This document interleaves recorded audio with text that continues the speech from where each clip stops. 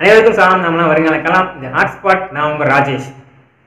நம்ம கண்ணத்தில் சின்னதாக பிம்பிள்ஸ் வந்துருச்சுன்னா உடனே ஃப்ரெண்ட்ஸ் என்ன சொல்லுவாங்கன்னா உனக்கு ஏதோ ஒரு பொண்ணு சைட் அடிக்குது. அதனால தான் பிம்பிள்ஸாக வருதுன்னு சொல்லுவாங்க. இது கரெக்டாக ரீசனா அது தெரியல. பட் எனக்கு தெரிஞ்ச ஒரு ரீசனை உங்களுக்கு நான் சொல்கிறேன் நம்ம கண்ணத்தில் ஏன் பிம்பிள்ஸ் வருது? அதுக்கான ரீசனை தான் இந்த வீடியோவில் பார்க்க போகிறோம் ஸோ வீடியோ கடைசி வரையும் பாருங்கள் ஃபர்ஸ்ட் நம்ம கண்ணத்தில் பிம்பிள்ஸ் ஏன் வருது? அப்படின்னா நம்ம கண்ணத்தில் அந்த ஸ்கின்னுக்கு உள்ள செபேசியஸ் கிளாண்ட் அப்படின்னு ஒரு கிளாண்ட் இருக்குது அது என்ன செபேசியஸ் கிளாண்ட் அப்படின்னா அந்த செபேசியஸ் கிளாண்ட்ஸ் என்ன பண்ணும்னா உள்ள ஒரு ஆயில் சப்ஸ்டன்ஸ் அதாவது ஒரு எண்ணெய் திரவத்தை உண்டாகும் அதுக்கு பேர் செபம் செபம் அப்படின்ற அந்த எண்ணெய் திரவம் நம்ம ஸ்கின்ல இருக்கும் சின்ன சின்ன ஓட்டையாக இருக்கும். அந்த ஓட்டைகள் மூலமாக தான் இந்த வேர்வையெல்லாம் வெளியே வரும். ஸோ அந்த ஓட்டைகள் மூலமாக உள்ள இருக்கிற உள்ள இருக்கிற அந்த செபம் அப்படின்ற அந்த ஆயிலி சப்ஸ்டன்ஸ் அந்த எண்ணெய் திரவம் அப்படியே அந்த ஓட்டை மூலமாக வெளியே வந்துடும் ஸோ அதனால தான் வந்து மூஞ்சி என்ன வலிதுன்னு சொல்லுவாங்க.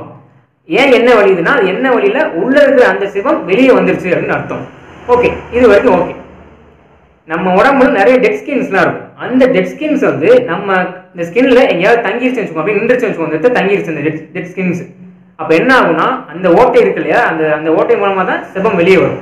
ஸோ அந்த ஓட்டை பிளாக் ஆயிடும் ஸோ பிளாக் ஆயிடுச்சுன்னா அந்த உள்ள இருக்கிற செபம் வெளியே வர முடியாது. அப்படிங்கும் போது இந்த பெருசு உள்ள வந்து இந்த செபம் பெருசாகிட்டே போகும் அப்படியே அப்படியே பெருசாகிட்டே போகும். எக்ஸாம்பிள் வந்து எப்படி சொல்றதுன்னா இப்போ நம்ம பலூனில் காற்று அடிச்சோம் அப்படின்னா அதை பார்த்துருப்பீங்க. இப்படி வச்சு பலூன் ஊதுறோம் பலூன் பெருசாகிட்டே போகும் ஏன் பெருசாகிட்டே போகுது? காற்றை ஊதுறத ஏன் பலூன் பெருசாகிட்டே போகுதுன்னா வேற எந்த வழியாகவும் காற்று வெளியேற வழி கிடையாது. ஸோ அதனால இப்படி ஊத ஊத காற்று வந்து பெருசாகிட்டே போகுது. அதே மாதிரி அந்த செபம் வேற எந்த வழியாகவும் வெளியே போகிறது சான்ஸ் கிடையாது. ஏன்னா வெளியே போகிற அந்த ஓட்டையும் இந்த dead skins dead skin cells வந்து பிளாக் பண்ணிருச்சு. அப்படிங்கும்போது வெளியே போக வழி இல்லாமல் அந்த செவம் அப்படியே பெருசாகிட்டே இருக்கும் உள்ள.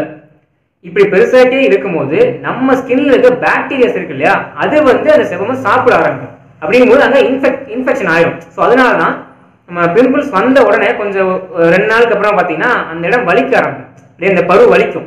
அது ஏன் காரணம்னா அங்கே இன்ஃபெக்ஷன் ஆயிடுச்சு பாக்டீரியா வந்து அதை சாப்பிட ஆரம்பிச்சதுன்னு அர்த்தம்.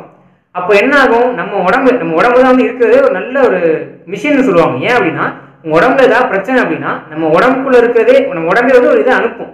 இந்த இதை வச்சு சரி பண்ணிக்கோ அப்படின்னு சொல்லி ஏதாவது ஒரு விஷயத்தை அனுப்பும். அந்த மாதிரி இந்த மாதிரி உங்களோட பிம்பிள்ஸ் வந்து அந்த அங்கே இன்ஃபெக்ஷன் ஆயிடுச்சு அப்படின்னா நம்ம உடம்புல இருக்க இம்யூன் சிஸ்டம் என்ன பண்ணும்னா இம்யூன் செல்ஸ் வந்து அதுக்கு வந்து சென்ட் பண்ணிடும் இங்கே சென்ட் பண்ணிடும் அந்த இம்யூன் செல்ஸ் என்ன பண்ணும்னா இங்கே சாப்பிடுதுன்னு சொன்ன இல்லையா பாக்டீரியா செப்பம சாப்பிடுது பாக்டீரியான்னு சொன்ன இல்லையா அந்த பாக்டீரியாவை கொண்டுடும் ஸோ பாக்டீரியாவை கொள்றதுனால செபம சாப்பிட்றதுக்கு ஆள் கிடையாது. ஸோ பெருசாகிட்டே இந்த செவம் பேக்டீரியா சாப்பிட்டதுனால சின்ன சின்னதாயிட்டே இருந்துச்சு. இப்போ இம்யூன் சிஸ்டம் இம்யூன் செல்ஸும் பாக்டீரியாவை கொண்டுருச்சு ஸோ இன்னுமே அந்த செவம் பெருசாகிட்டே போகும் அப்படியே. ஸோ அதனால தான் உள்ள பெருசாகிட்டே போகிறதுனால தான் அப்படியே வெளியே அதுக்கப்புறமா வரும். ஏன்னா அந்த செவம் சிவம் வெளியே வரது சான்ஸ் இல்லை பிளாக் ஆயிருச்சு. ஸோ அதனால அப்படியே ஊதி ஊதி ஊதி இப்படி பலூன் பெருசாகும். அது மாதிரி உள்ள சிவம் அப்படியே பெருசு பெருசு பெருசு பெருசு பெருசாக ஆகி அப்படியே பருவா வெளியே வந்துடும். இதுதான் நடக்கிற ஆக்சுவல் ரீசன் இதை தாண்டி வந்து இந்த பொண்ணு பார்க்குறனால பிம்பிள்ஸ் வருது. அதெல்லாம் எதுவுமே கிடையாது. சயின்டிஃபிக் ரீசன் இதுதான். ஸோ இனிமேல் வந்து பிம்பிள்ஸ் வந்தால் அப்படின்னு சொல்லுங்கள் இனிமே என்ன ஒழிஞ்சாலும் சொல்லுங்க. அது என்ன வழியில் செபம் அப்படின்ற அந்த ஆயிலி சப்ஸ்டன்ஸ் தான் வெளியே வருது அப்படின்னு இதுக்கு தான் சொல்லுவாங்க. மூஞ்சியெல்லாம் நல்லா கழுவி சு சுத்தமாக வச்சுக்கணும் அப்படின்னு. ஏன்னா சுத்தமாக வச்சுக்கிட்டோம் அப்படின்னா இந்த மாதிரி டெட் ஸ்கின் செல்ஸ் தான் தங்காது. ஸோ நீட்டாக இருக்கும் ஸ்கின் இதுதான் இந்த வீடியோவில் உங்களுக்கு சொல்லணும்னு நினச்சேன். இனிமேல் நம்பாதீங்க. பொண்ணு பார்த்தா தான் பிம்பிள்ஸ் வருதுன்னு. இதுதான் சயின்டிஃபிக் ரீசன் ஸோ இந்த வீடியோ உங்களுக்கு பிடிச்சிருக்கும் நம்புறேன். லைக் பண்ணுங்கள் ஷேர் பண்ணுங்கள் சப்போர்ட் பண்ணுங்கள் சப்ஸ்கிரைப் பண்ணுங்கள் பக்கத்தில் பெல் ஐக்கான கிளிக் பண்ணிடுங்க. சோஷியல் மீடியாவில் நீங்கள் ஃபாலோ பண்ணணும்னு நினச்சிங்கன்னா அதுக்கு லிங்க் டிஸ்கிரிப்ஷனில் இருக்குது அப்போ ஃபாலோ பண்ணிக்கோங்க. இந்த வீடியோ நான் தப்பாக பேசி இன்ஃபர்மேஷன் மாற்றி சொல்லிட்டேன் அப்படின்னா அதை கமெண்ட்டில் லீவ் பண்ணுங்கள் இல்லை உங்களுக்கு ஏதாவது டாபிக் டாபிக் டிஸ்கஸ் பண்ணணும்னு நீங்கள் ஆசைப்பட்டீங்கன்னா அதையும் கமெண்ட்டில் லீவ் பண்ணுங்கள் அதை பற்றி பேசலாம். நாளைக்கு ஒரு நல்ல வீடியோ உங்களை மீட் பண்ணுறேன் அன்டில் தென் உங்களுக்கு விடைபெறுவது ராஜேஷ். நன்றி வணக்கம்.